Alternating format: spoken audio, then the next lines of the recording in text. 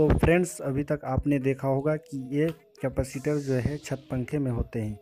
लेकिन आज आपको हम दिखाएँगे कि इस कैपेसिटर से एक डीसी मोटर का छोटा सा पंखा भी चल सकता है। तो आइए दोस्तों देखते हैं कि इसको किस तरह से बनाया गया है। वीडियो को शुरू से लेकर लास्ट तक देखते रहिए।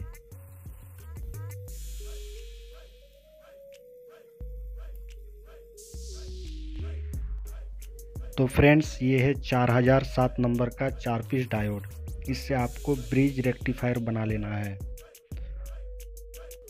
फ्रेंड्स, ये प्रोजेक्ट अगर आपको घर पे बनाना हो तो वीडियो को स्किप करके मत देखिए, वरना आपका मोटर जल सकता है और आपको बिजली का झटका भी लग सकता है।